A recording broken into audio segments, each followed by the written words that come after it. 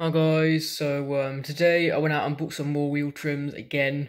Um, as you can see here they are.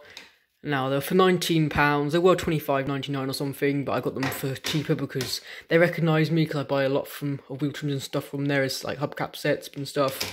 So they gave me a bit of a discount like they usually do, so that's quite nice, but yeah, people say they hate universals and stuff, I actually quite like them.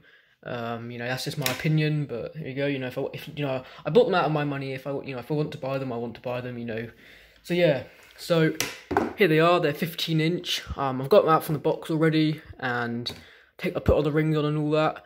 And I tested one on my mum's car, and they're actually actually they're actually quite secure. They're a tiny bit off center, that's like with common thing with universals. But they actually stay on really really well. So yeah.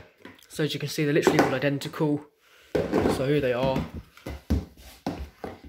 and um, yeah, they're extremely lightweight. Not sure if that's a problem. They're extremely lightweight, so yeah, I thought I'd just say, say that. So I can't remember exactly what they're called, what universals they're called, but they're made in Taiwan. 15 inch.